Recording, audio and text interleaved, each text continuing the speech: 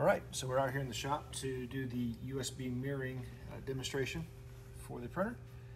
And what we're looking for is the USB port here in the front underneath the cover. We're gonna take our USB stick and we're just gonna plug it into the printer. You'll see here on the display. And now we're writing download firmware and the printer is now writing it to its flash memory. And the printer will restart after a firmware update.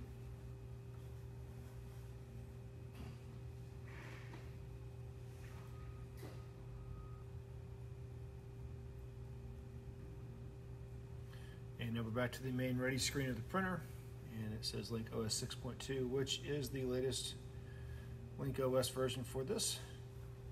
Uh, once again double check, checks to make sure that there's nothing else on the drive and tells us that the mirroring is done and it's finished and we're back to the main screen. So once again, uh, thank you for your time. Thank you for visiting emptechgroup.com.